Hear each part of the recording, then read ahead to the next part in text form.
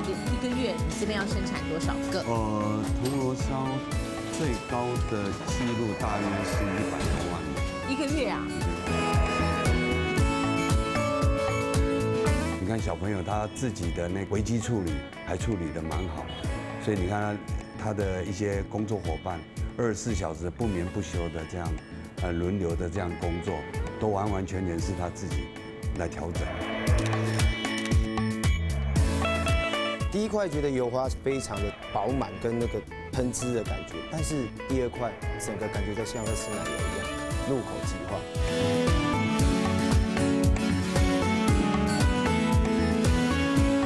做这个品牌也是需要的，比如专业的经理人，还有包含的呃技术的人员，所以只要人对了，一切都是对的。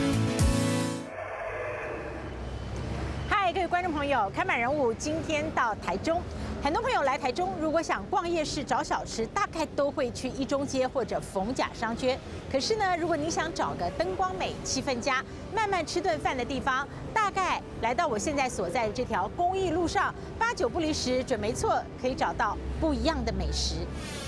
好多全国性的餐饮品牌，像是鼎王麻辣锅、八十五度 C、清景泽锅物，还有赤鬼牛排，都是从台中发机。他们的第一家店，也就是所谓的 K Gate，就在公益路上。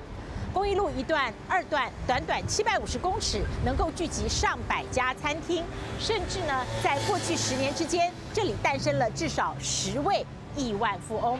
他们共同的发展模式就是在公益路发迹，那么同时赚了几桶金之后，再发展到全国，甚至展店到海外，而且还可以发展出集团里面的子品牌。今天的看板人物就是十二年前凭着一个铜锣烧起家，在台中市的超级战区美食一条街公益路上发展出七个品牌，本身也跻身亿万俱乐部的星野餐饮集团创办人、负责人。屈生阳。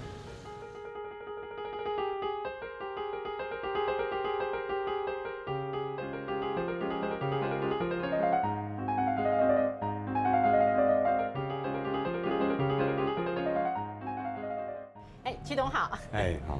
这里是你的 Key Gate 啊，我 小豪的 K G 组是星野铜锣烧的 K G 组啦。我们刚刚一开始介绍，也是现在整个星野餐饮集团的 K G 组在这边。对对这个铜锣烧，我想观众朋友并不陌生哈。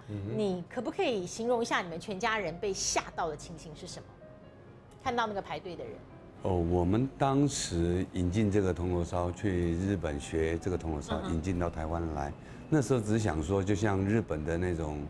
小店啊，小店铺这样，结果也没想到说，突然间爆红了，呃，每天都排队抢购，排了几年啊？那时候排了差不多三年吧。呃，从这样的一个措手不及的经验起家，你印象深刻还有什么画面？那我觉得这个教育给小孩子很不错，因为他忽然间有这么大的一个量，你看小朋友他自己的那个危机处理还处理的蛮好的，所以你看他。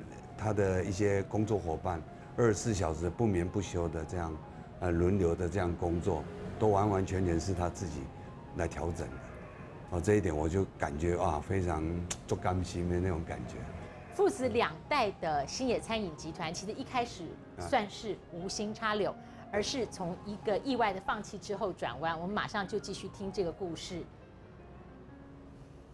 这一个铜锣烧现在在。呃，短短的这段期间，已经开了四个分店。刚刚提过，整个集团有七个品牌，其中多数是非常特别的高端餐饮，一切都从它开始。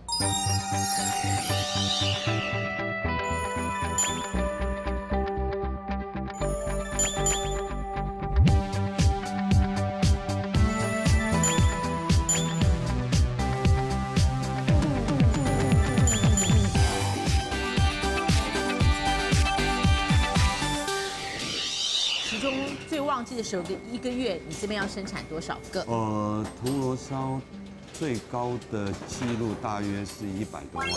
一个月啊？一个月。哦，然后它没有外销哦，就是我们台湾人那个时候买的，好吃掉的一百多万个，全部都手做。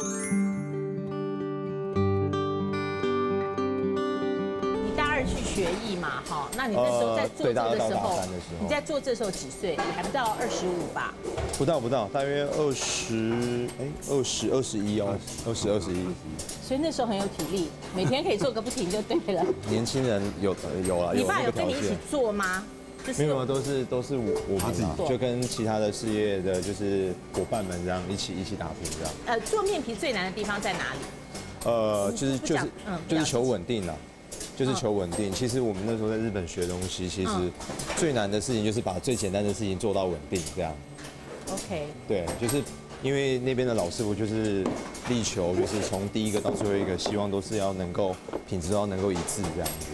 哎，小豪，我们到这边，我才发现，其实我们铜锣烧最后还是有很大的手工的工序哈。对，没错。这个没有办法用机器带了。这个没办法。目前这个还没有办法。是。对。其实那个时候，小豪去拜师学艺的时候，呃，你帮他找到的师傅，他们现在在多摩川边也是叫星野。啊，对，没错。他什么都不会哈，那个时候大二生，但才刚过二十嘛，哦。是是。你怎么样拜托到这个已经超过半世纪的？铜锣烧老店老师傅愿意接受他。那我们新野老社长，嗯，我那时候就是透过朋友介绍，让我跟他认识。那我们就聊得蛮蛮就是蛮融洽的。那那时候我就邀请了社长跟社长夫人来台湾玩。那他要离开台湾的时候，他就跟我讲说：“曲先，那你就派你所想要派的两位啊学徒来到日本学习。”那很很难说服的，因为那个老，那个我们的社长已经那时候差不多快快七十岁了。我觉得一开始人跟人也是这样，因为你无所求的接待他，是，哦，所以很自然。但是，哎，小豪他大二升大三，突然跟你说爸，我不想读大学，这也是晴天霹雳吧？我，他后面还有个弟弟，他得跟他学。嘛，那时候那时候我的想法，我只告诉他说，你觉得你认为是对的，那你就放手去做。你有这么？开明哦！我那时候就跟他这样讲，其实我蛮压抑的。一个晚上我们就讲好了，那时候很明白去感觉得到。呃，我自己在念的科系那个东西，其实并不是我想要的。念到一半的时候就有这样的感觉，想法就是要学一个一技之长啊。我自己也不是很爱读书啊，而且小朋友他给我这种反应，我觉得很正常。你印象最深刻，就这样子去日本当学徒的，一定有很多画面。你跟我们分享给你印象最深的画面。最深的画面哦，应该就是。到的第一天，我们找到老师傅那边去，那要做很多准备嘛。于是我们就在问说，那我们呃几点开始上班？那那一刻是让我最深刻。他跟我说三点。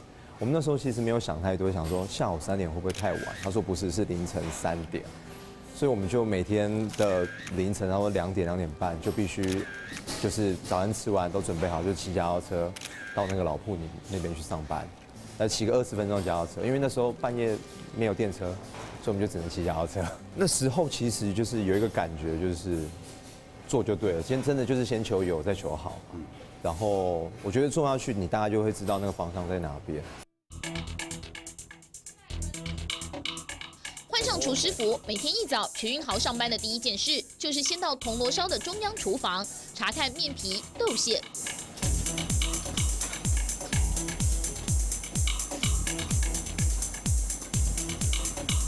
遵循日本师傅的标准，十二年分毫不能变。面皮绝对是最重要的，所以面皮其实我们一定会去不断的去去试吃，因为我们包含很多食材的温度都要稍微掌控到，比如夏天有夏天的温度，冬天可能冬天的温度这样。像我们在在看的时候，有时候都会看到会观察里面的气孔啊，它蓬松的程度啊，颜色者啊。手掌般大小的铜锣烧，从外皮到内馅全是细节。十二年前，徐云豪大二升大三的暑假，决定休学，直接走入职场。于是，一句日文也不会，就到日本苦学半年，把这日式传统的点心带回台湾。很斩钉截铁的这样跟我说，他想去学。我问他，你有想清楚吗？他说我想得很清楚。我说好，你做了所有的决定，你自己要负担啊，要负起一切的后果。现在如果叫我回过头来看这件事情，叫我去投资，比如说好好比叫我投资我儿子，只是为了三个铜锣烧，然后再做一样的事，我可能真的会很认真的怀疑一下。纯手工的日本铜锣烧在台中初时提升就一炮而红，一天最多卖出六万个，开店的前四年就卖掉了三千万个铜锣烧，堆起来相当于两千九百五十三座台北一零一大楼。我觉得那是他应该要做的吧。对呀、不用夸奖吧。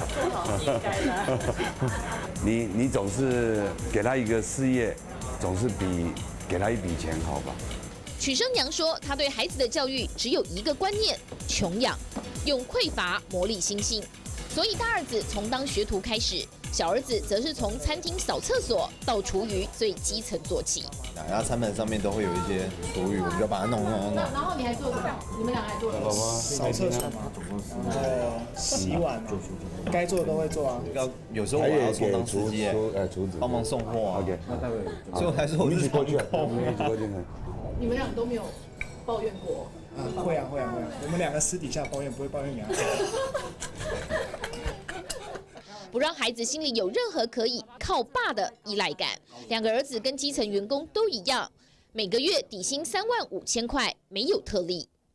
刷卡我不不允许小孩子拥有刷卡，像现在很多小孩子嘛，他都有卡债，那是非常不好的。我们我们家是不可以这样的，所以我对小孩子的要求就是用穷穷养，很穷，让他很穷，很穷他都可以做好的话，那才厉害啊，对不对？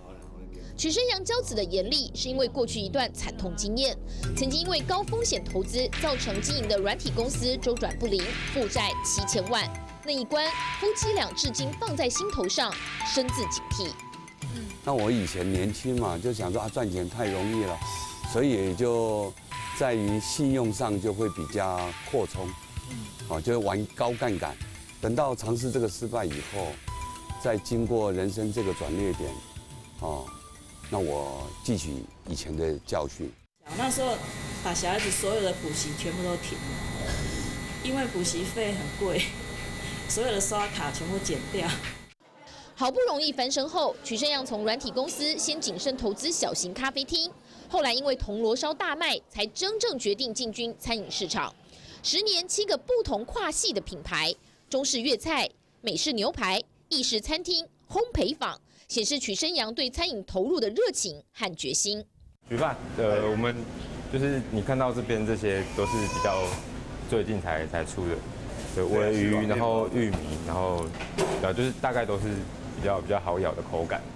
吴宝春的高徒吴子敬口中的曲霸，是对味觉极度敏锐的老板。除了对食材要求，其他全权交给他自行发挥。看新野集团每个品牌高阶经理人平均年龄三十三岁，曲生阳给足他们空间，让这些不同品牌的主管各自决策时拥有拍板权利，才能各自开创一片天。那这个白色的这个这个是什么呢？这个是那个秋葵，哦哦，秋葵子。然后我就想说，哦，用秋葵的是是是。做成很像咖啡啊，很像鱼子酱的感觉，哦，对对对所以。它是陆地上的鱼子酱。哦，陆。前乐木法式餐厅的共同主厨 Jimmy 也在去年进入星野集团大展身手，目标很明确，他要冲世界五十大餐厅，操刀练兵，找来巴厘岛的世界名厨客座。许生阳二话不说，全力支持。他是一个 go getter，就是如果想要做什么，他就会去做。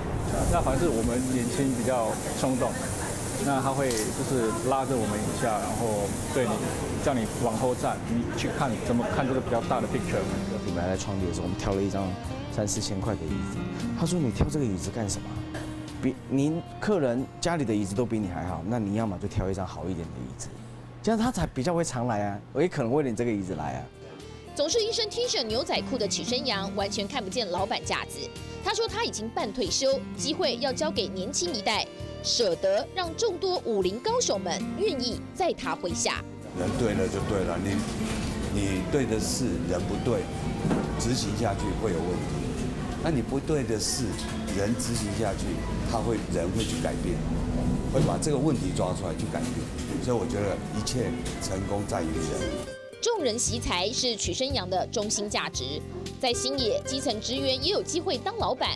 他不只开放员工认股，每年光发红利就高达上千万现金。他提供舞台，让高手们可以尽情挥洒创意。星野有一个铜锣烧起家的传奇，未来还有更多故事可以延续。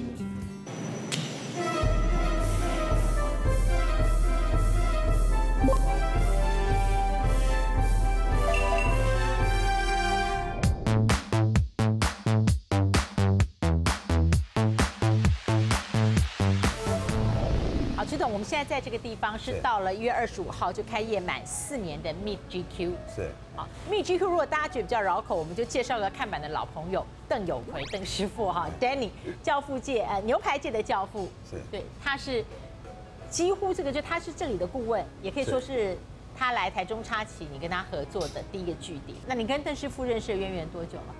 我跟邓师傅认识大约五年了吧？好，那这个我想替观众问一个问题：我们怎么样来算这个进货量啊？要支撑这样一个，既然我们这个店名是 Meat 嘛，那一货柜进来几百公斤，所以是怎么个分法？它是用地区分吗？台北多少，台中多少，然后你这边就跟他啊，对，没有错，就是台北、台中，就是平分一个货柜这样。哇哦，那你的也就是说，以这样的一个喂纳量的话，你这边的生意运转要非常的流畅，然后非常的好，非常的稳定。是是，你每次都要准备好几百公斤呢。哦是哦。对对好，待会儿我们会有一个盲试哦，在盲试这个有点特别，因为我们一般的印象大概一个餐厅它的采购，呃，行政主厨的决定权非常大，但是你这个集团下面有七个品牌的话，你的采购是另外部门处理。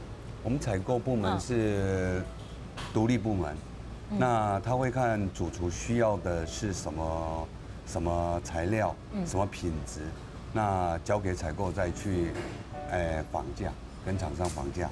厂商绑架完了以后，他会找好几家厂商回来给我们盲试，嗯那我也要参加这个盲试的一个一个测试。因为在这个它的产地跟价格全部都是密封的，对对，那我们我们会嗯。试它的品质，再决定要，呃，要向哪一家厂商购买。那因为您的餐饮哈是。是呃七个不同品牌，对对对对。然后其中很多高端餐饮，嗯。呃风味不同，一家一家开为什么你那时候没有采取一个相对的捷径？你就嗯顺着行政主厨的人脉，然后去采购，或许这个对你来说，呃比较节省时间。哦，我觉得这样的管理上可能问题会比较多，人的问题会比较多，还是要有一个制度面。哦，这个制度面就是，哎，我我要这个品质的东西，我来自不同的厂商，所以我们盲试也不让他知道是哪一个厂商所提供的，那这样比较不会有，哎，中间有一些问题产生。哎权力的平衡啦，专业的平衡在集团里面是有管理的智慧是哈。那待会儿我们在切的时候，哎，这这当然跟我们吃的牛排是不太一样哦。是。这个牛排它有它的进货价，但是当我们吃到的时候，观众会说：“哎呦，为什么每一颗都这么贵呢？” 是因为它的耗损会在哪些部分哦，分？它的耗损是会在这个油花的部分、太油的部分都要处理掉，所以所以相对的会处理掉百分之三四十掉。所以这样子来讲的话，我们有一个成本的概念，你就会知道出单位的这个进货价到端到盘子上的时候，哦，那就不一样啊，那是不一样不一样的，对对对。好，那我们今天呢就来从牛排开始忙事。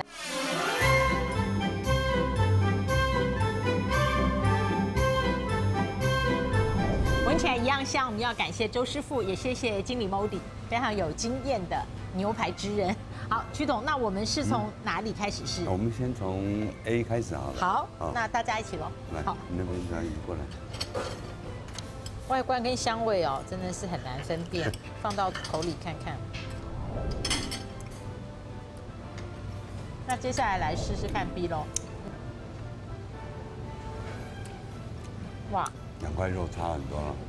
对，这一块的油脂感要更明显了。嗯，国家只有两个，但是三种不同的肉。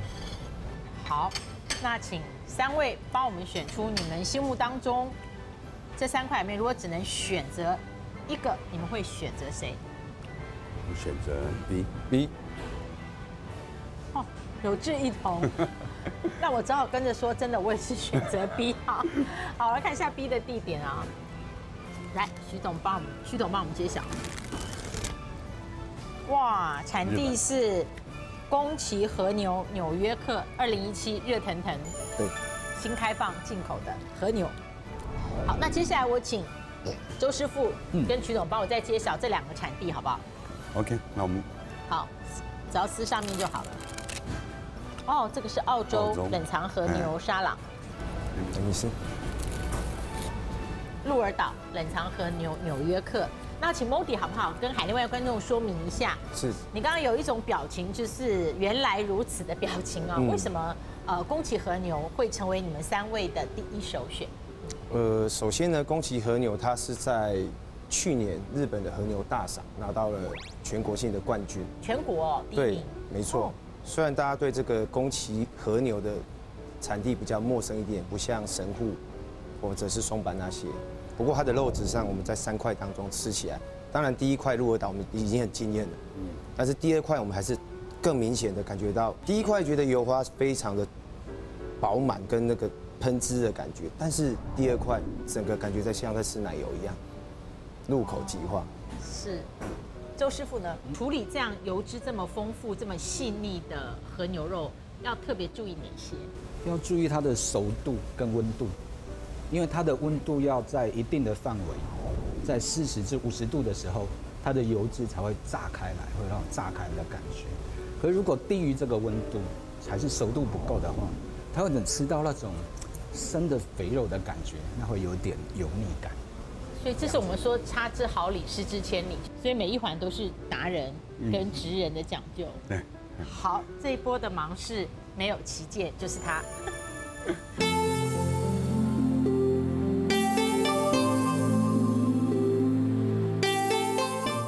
哎，曲董，这雨夜楼的餐厅哈，是我现在知道的数字啦，嗯哼，就是总共花了超过三亿，那到台币三亿五千左右。哎对，之前的设定到大约是八千万，结果为了理想一直追加预算，哦，嗯。所以你现在看到的这些我们先讲意大利的灯，哦。好，这里有五百八十二盏，嗯哦，每一盏大约价格是两万多块。那这面墙是我们台中的一个代表的一个呃地区的一个泥土，是红泥。哦，哎，它高度有七米多，所以是用人工下去，慢慢慢慢的把它扶上去的。好，那我还要请观众朋友算个简单的算术啊，就这把椅子嘛。是，哦，这个曲总不想讲钱啦。那你跟我说这把椅子是呃，在这个餐厅里面就用作一般的餐厅座椅，有几张？呃，六百六十张。好，六百六十张。你广告的时候再算，一张大概台币我们算一万块。好，所以这三亿五千万的餐厅是这么来的。但是我我我讲哎，价钱跟价值其实是这个价值哦，就是说你自己想要一个什么样中台湾非常非常不一样的环境。我我是一直觉得说，因为现在工商社会嘛，大家都很忙。我我那时候的理想是想提供一个，就像一个森林一样的一个用餐的环境。哦对，那时候的诉求是这样。哦，对对对？但是我们往前看，哎，哇，这个是屏风是门吗？这个门蛮特别的。这个门，这个门是一个铁锈门，所以它重达有差不多一吨。对，但这个门我这样子看它是山字形哦，哦是这样子，是是是。哇哦，是很很很很很牢固的门。哦，但整个拉开之后，哎，它有点像个像一像个字。一个人，哦人哦。哎，从一个铜锣烧号啊做到七个品牌啊、是是。成为一个餐饮的，不只是集团啦，哦就是一一大片天。呃，人这件事情对您的整个事业生涯的意义是什么？嗯，我觉得从我创业开始，第一个我就碰到人生第一个贵人，哦，也就是人。那么做这个品牌也是需要人，比如专业的经理人，还有包含了呃技术的人员。所以只要人对的，一切都是对的。人要是不对，什哎做什么都是不对的。不过这个哲理里面啊，就人对了，事情就对了一大半哈是。可以有什么故事跟我们分享？我觉得我一路走来就是诚信，所以我跟人与人之间的相处，呃，别人也会去探听说，哎，这个人啊，这个老板到底是不是一个很好可以跟跟随的老板？所以就是用这种理念去感化很多很多，哎，跟我现在生意上伙伴的一些一些得力的助手。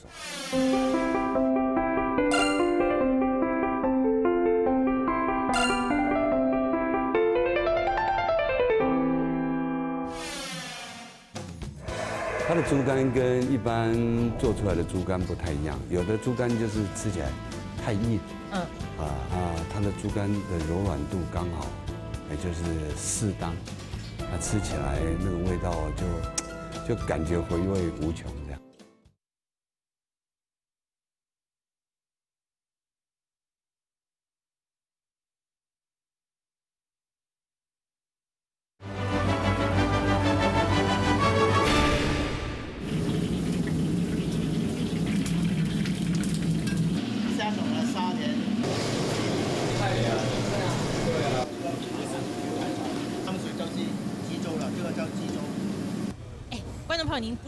我身边这位厨神呐、许文光，这是许主厨，其实来台湾三十年了。对，三十年了啊。那你在台湾这三十年，经历了，跟大家大概的让我们更了解一下。就是从香港过来，就一路走到走到现在，差不多有两个两个老板，要有两个大老板。那么最前面的我我跟了这个蔡老板是十六年了，呃，再来就转到转到这边来，现在跟了我们的朱老板。许先生是非常重情重义的一位神厨哈，他跟着蔡成阳先生十六年，啊，然后蔡阳先生不幸啊，在几年前元月猝逝之后，他才点头答应。在蔡先生在世时候，您那时候就跟着他，哦，从寒舍到寒舍爱美，那个时候，呃，其实曲老板就曾经，我们说不管怎么样，像三顾茅庐请你啊，没有了，就当初他呃不啊，曲老板过来的，有有一次他过来试菜，买吃完试菜，试完了就啊请我进去，就是跟我讲说，哎，我们台中有希望开一个呃中餐，你要不要过来帮我？我当时就是啊毫不想，就是都都过来，就是慢慢慢慢，就是他都过来吃我的菜啊，这样啊变得熟朋友了。我想到你跟蔡先生，我会想到人家讲一个很美的比喻：千里马跟伯乐哈。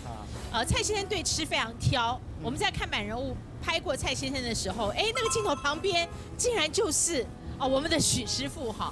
我们来讲老板的风格不用比较哈，但蔡先生在世的时候，您跟着他十六年，你觉得你从他身上学到最多的，不管是餐饮或为人，呃，一直到他走了，你才愿意离开。在他身上，我可以学到就是说，每做每做一样菜，每做一个菜这样，我们从材材料材料方面去选择，啊，怎么做把它做好，味道做好，每一个细节我们都会做到，就是说做到比较更好，啊，在这方面我就跟他他十六年，在餐饮方面真的很谢谢他，在这一段呃。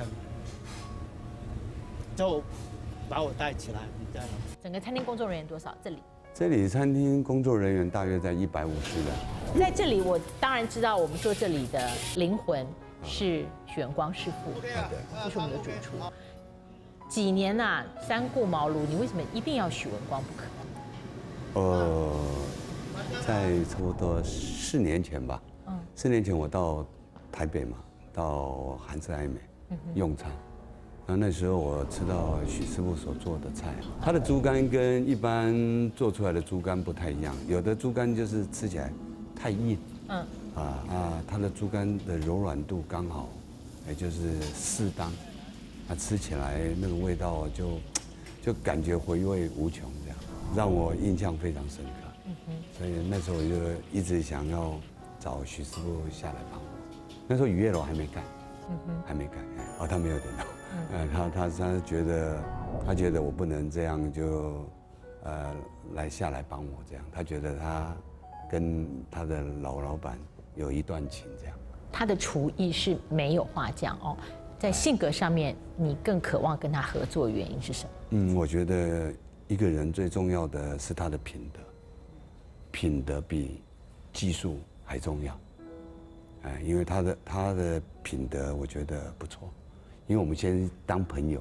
你半夜发过简讯给他？哦，聊一下吧。我曾经差不多在半夜一点多发过赖给许师傅。那是一个什么样的情况？没有没有，我就是我就是跟他讲说，呃，雨月楼是一个很大的一个阿拉卡的餐厅，那需要一个很有经验的民族来掌舵，啊，所以那时候我就。呃，半夜发了赖给他，跟拜托他再考虑下来帮我，就那一次说服他了，就是那一次说服他。半夜简讯，对，是半夜。倒是有人，你你你一赌就蛮大的。如果他那天很累，好不容易睡着了，对，应该就是那个简讯让他再也不理你了，把你屏蔽了。哦，不会不会不会 不会，我们我因为他也本身喜欢运动，我也喜欢运动，所以。呃，两个我们两个也曾经出过国考过察，所以彼此双方知道双方的个性。我也知道他睡着了，我也知道，因为那时候我提起这个勇气，再传一个赖给他这样。呃，您刚刚提到诚信，不管在人生或事业上，嗯，我相信你有很多知音般的好朋友。嗯，请问交朋友的秘诀是什么？可长可久的。先懂得吃亏嘛。先懂得吃亏，这就是我人生的哲学。哎，就是你交朋友，如果你把什么东西都利益都放在最前面的时候，那你想你跟这个朋友会深交吗？那如果你交朋友，你都是对这个朋友，你都是把吃亏当成就是占便宜的话，施比受还是比较幸福的。那我是用这种真诚去感化我，去去让我的朋友能感受到我的真诚。哎，这是我的做做人的道理。开始就提到相信专业，那我从一个反面来来问，您可不可以举一个什么样的例子？当行政主厨跟老板在相处的时候，对于这一点共同的理念、看法或价值，应该要到一个什么程度？您举任何的小故事，譬如好像王烈基，我们我们就去做这这个鸡这样，他找一个机会过来，就交给我们，哎，你去试试看这个鸡鸡肉好不好？然后我们去料理，料理之后发现他一。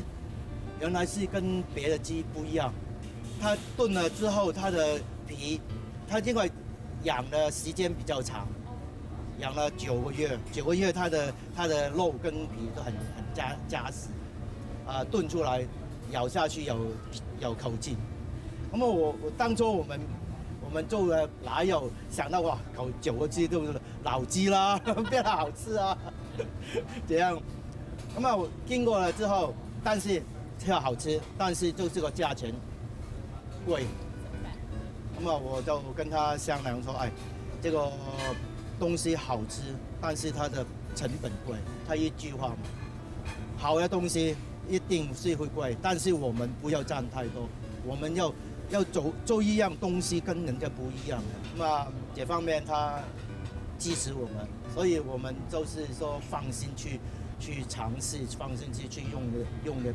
好的东西给客人，餐饮的影响力很大。谢谢许师傅，也祝福你。谢谢。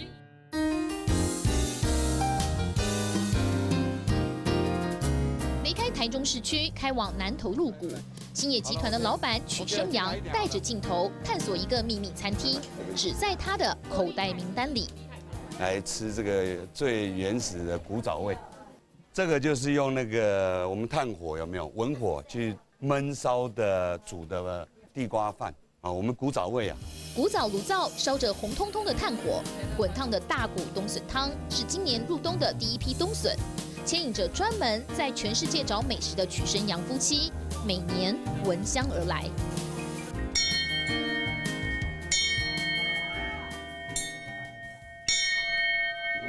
吃饭喽！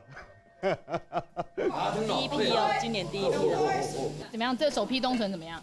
第一批冬笋它一定是很小，比较小，对，就是一口一口汤。嗯，主角冬笋汤还搭配一整桌的野菜宴，茭白笋和地瓜都只简单炊煮，吃原味。平凡朴实的真食物，是这位掌管七个餐饮品牌的董座心里最实在的美味。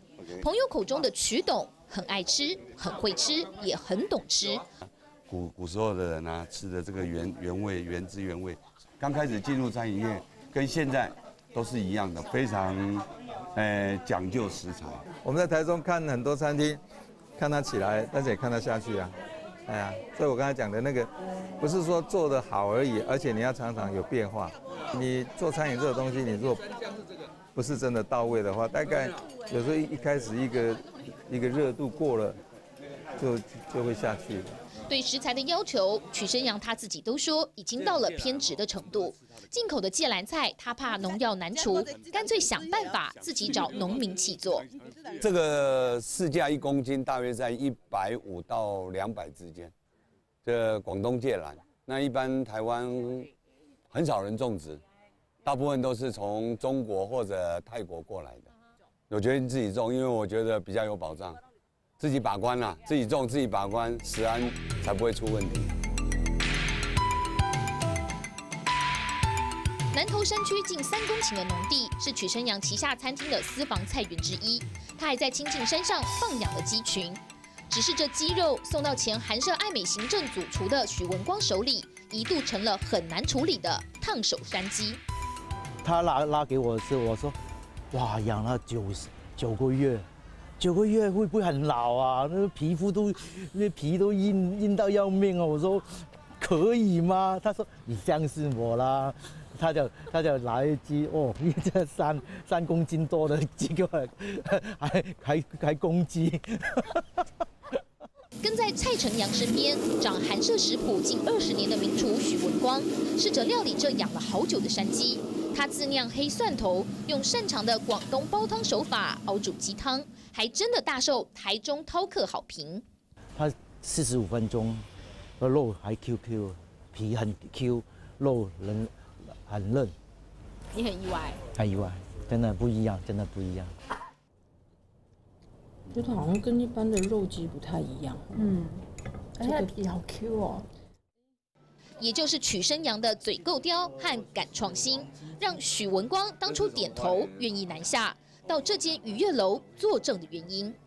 所以我们在那个沾汁的部分，我们酒水各半，啊，加一点点盐巴提味就好了。我们学学不完的。不是，我们在讨论。不完了，讨讨论讨论。以台中口味。跟北部口味不一样。曲生阳对食材和原味的挑，让不少名厨都心服口服，愿意到他旗下与他合作。台湾美式牛排的扛把子、牛排教父邓有奎，也是在跟曲生阳聊了一晚后，就决定首度离开台北，开第一间店。你没有买到好的牛排，你没有办法做出好的品质啊。反正这一块就需要曲先的支持了。嗯哼。三年前开幕的 Meet GQ Steak。在台中餐饮圈带来极大关注。曲生阳当时大胆投资，豪砸两千万的厨房、烤箱设备，至今依旧走在牛排同业的投资前沿。做了就要到位的气魄，是他带领新演十年开出七个不同品牌的关键。是，所以他是都从从最好的开始做起，所以他就就不一样。在台中能有像曲先这么气魄的人，应该找不到第二个。啊，不敢当，不敢当。比如说，好的师傅啦，好的管理管理者啦，都来跟你，那就看老板的心态，对不对？你给他很好，他为什么还要去去创业？他根本不用创业啊，他跟着你一起打拼就好了。名厨加持，让星野集团在淘汰快速、要求 CP 值高的台中餐饮市场拼出一片江山。曲胜阳对食材坚持，知人善任，愿意投资未来前景的大气，让中西名厨甘愿与他共同打拼。从一个铜锣烧牵引出一片缤纷灿烂的星野餐饮新天地。这种很多人看成功的人哦，特别是累积财富成功的人。都会觉得说，哦，他一定有我没有的天时地利人和，贵人时运好机会。啊，但是我要告诉观众朋友，其实屈董呢，他幸好在比较年轻的时候，人生的大概比较早的阶段，跌过跤，负过债。对。所以后来你不会追求无限多的财富，哦。对。嗯。因为就是年轻嘛，年轻曾经成成功过，也曾经尝试过失败，那后来就是。投资了股市啦，那你也知道，在民国七十八年、七十九年的时候，股市大崩盘嘛。就是上半年之后，对对对，那时候我又融资嘛。哦。对啊，那你融资的话，心好大哎。他当然，啊 当然，这个就是讲讲出来大家分享了，就是因为，呃，没有做好很好的理财，所以又玩高杠杆，所以造成了呃大量的负债，哎啊，所以我后来。我都不再碰，不再投资这种有关于杠杆的投资，我都不再碰。哦，真的，所以这么多年来，其实你并不。对，所以我对小孩子的教育就是要求他们自己要懂得理财，所以对小孩子我是非常严格，对员工我也是非常严格，我也是要求员工，呃，不要有透支的行为，这样是对自己是不好。你觉得人生在比较早的这个阶段，叠这个跤，他后来对于你跟你太太一路的启发是什么？而且甚至因此你才进入了餐饮 这个行业。我觉得很妙哈。老天爷冥冥之中就安排说，哎呀，你就年轻嘛，让你成功了。但是你这个小孩子好像不知天高地厚啊，对不对？那所以我再给你一个教训嘛，再让你从头来嘛。那我觉得这个很好，他是在我年轻的时候给我这一个教训，那反而我现在更懂得珍惜我这呃这这所有的一切得来的一切。哦，这好大，几个位置？这个可以做到二十八人。好了讲话需要 扩音一下哈。五米多这个曲总，你每个月月分红是呃百分之十五，提拨百分之十五做员工的分红啊啊，这个多久了？哦，这个我们至少有六年了。那就是你第一个餐厅的时候你对就这么做了。你那时候有没有什么原因？就是说，比方你要挽留谁要走啊，或什么，所以让你做出这个没有没有固定月月分红的决定。我们最主要定这个规则，不是说，呃，谁要走的问题、啊，这不是危机处理，呃，不是不是不是，最主要是我希望说，企业家跟员工本来就是生命共同体，就是共同来来享受这个福利，这样才是这样才是比较好的一个一个一个策略，这样。那你固定月提拨的话，哎，如果我们再算上年终哈，嗯就是我们在未税前，你我我可不可以问你的员工，你大概是多少比例啊？全部是做员工大大概是在我们如果连月奖金跟年终奖金的话，职工福利这样算下来，大约在二十二到二十五趴之间。哇我就等于说我赚一百块，有二十五块要给员工了，当奖金。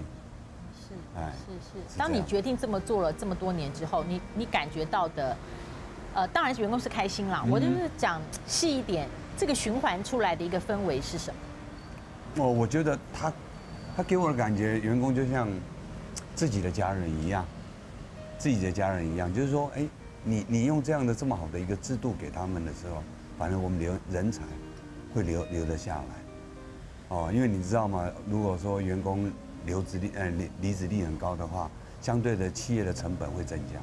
是。哎，所以我我们当时就率先先用这个制度了。徐总聊了一整天啊，我真的感觉就像我们现在在这个环境一样，万丈高楼平地起哈。你生命当中遇到什么样的贵人让你没齿难忘？所以你才说你今天也想在你的事业体里面扮演员工的生命贵人。哦，我在我刚退伍的时候，那嗯民国差不多七十六年，那七七年的时候，呃，在一个一个机会，我碰到一个董事长，那这个董事长也刚好是台湾的 Sega 的总代理，那他把他把这个这个游戏机 Sega 的这个零件零组件交给我来生产，那那时候我你有资金吗？那时候我 我我我我我刚退伍，所以年轻人我根本没有资金啊。你家里环境是怎么样？所以家里环境就是一般般的家庭啊。那因为外省子弟嘛，也没有背景，什么都没有啊。是。那我们这个老板他对我很好，我那时候他因为要制造这些这些机器嘞，我需要大约三四千万。啊，七十几年三四千万对我对于一个年轻人来说，很是一个很大的金额很大，啊七十七年还台湾股市还没上万点吧？差不多差不多，就是在那个氛围下嘛。差不多那你哪啊来钱？他下单给你，你也没有办法备料哎。嗯嗯结果他就，嗯。我跟他讲我没有钱啊，结果他对我的信任啊，他就借我三千多万，嗯，哎呦，那时候三千多万，对啊对我来价说值很大，嗯。很大很大，哎呀，那我这辈子，呃，第一桶金就是这个贵人来帮我的，啊，所以我立志，我立志我一定要，呃，也要当别人的贵人，所以我公司的一些干部啦，一些员工、基层员工都跟我一路打拼来，所以我现在，我现在正想要做的就是要当他们的贵人，哎，让他们来投资公司，也让公司投资他们，所以公司从来没有想要上市上柜。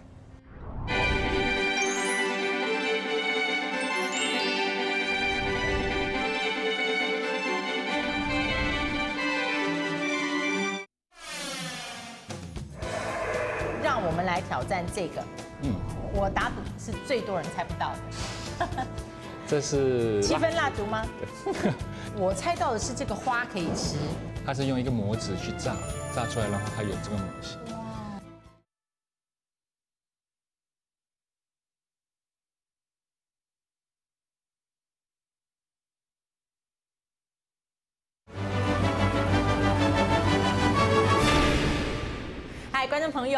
现在要来测一下你的智力了。今天这些所有的创意设计呢，都是来自 Jimmy 林田耀，我们的行政主厨。你好好，然后为我们示范的呢，同时也是 Max。我迫不及待想知道，这个看起来像是炸物的，其实不是炸物，，Jimmy。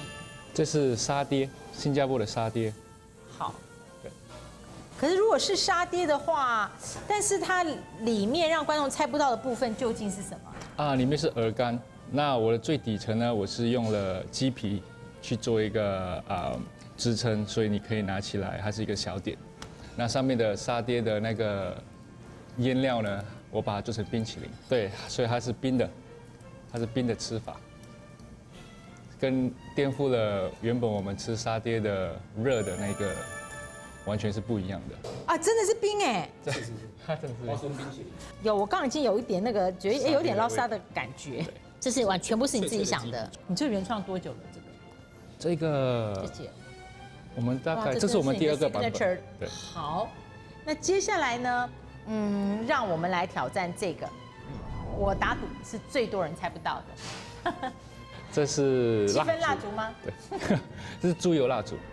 猪油蜡烛。对。那 Jimmy 帮我们示范一下好吗？点了以后，这个蜡油滴下来，所以意思是这个都是猪油。对，这些都是猪油。嗯。那现在我们淋上的是陈醋跟日本的白酱油。那它有点像宝沙米的用处，对的感觉。那如果你讲在意式里面，你吃的啊橄榄油配薄沙米配面包，那这是台式版的。是，因为这是我对于台湾的那个猪油辣啊猪油拌饭哦给你的想法。对，所以这个是蜡油是真的可以沾的吗？是可以沾的。哦，所以这不只是许愿蜡烛。那接下来呢，最后的这个，它是我们那边过年的时候吃的一个小吃，它叫做玫瑰果，对，rose 桂，可是它是一个甜食。那我猜到的是这个花可以吃，它这整个东西是可以。它的玫瑰果是因为这个造型，它是用一个模子去炸，炸出来，然后它有这个模型。那黄色的点点你看到的是用香茅、黄姜去做的，没有错。我们的骨架整个都是新加坡。Jimmy 林天耀，把新加坡变成不一样的新加坡，但是新加坡的 DNA，嗯，就是它的 DNA 都在里面。你猜到了吗？